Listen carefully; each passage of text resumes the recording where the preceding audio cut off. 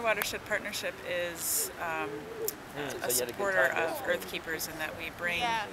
to Yeah, the table the environmental visit. projects. And so time, but I had um, each year the EarthKeepers vacation, so I does, you know, kind of one token event, and our organization is the one that kind of brings in the environmental side of it. Um, Cedar Tree Institute is the one is the organization that sort of brings in the different faith groups, and we um, basically are uh, support the EarthKeeper Vision Council, who Yeah, sort of makes all all the executive decisions. Okay. Um, well, I started as a volunteer five years ago with the hazardous waste cleanup, and I've been involved every year, and I've started to help coordinate. Um, now with the faith communities, I coordinate just the communication with getting information out, getting churches involved.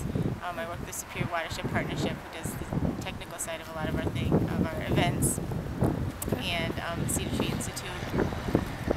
And um, I'm really excited about this project. 12,000 trees are being planted in the UP um, by 100 faith communities in 15 counties in the UP, as well as one um, church actually in Monico, Wisconsin.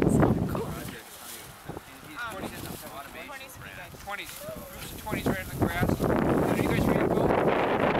Not yet.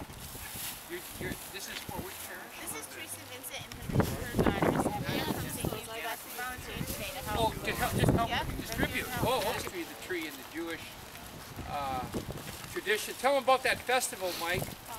Oh, Tu B'Shvat. Yeah.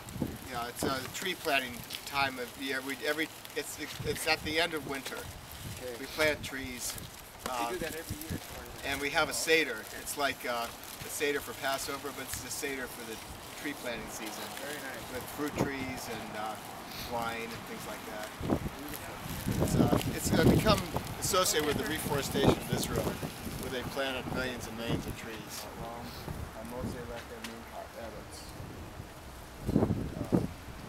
which is, uh, blessed are you, our, O Lord our God, King of the universe, who has brought forth the trees from the earth. Beautiful. And we ask a prayer for uh, all the community of Prince of Peace who will be uh, bringing these trees and uh, blessing the work with them in the next 24 hours tomorrow afternoon. And we pray that these will be a sign of hope for generations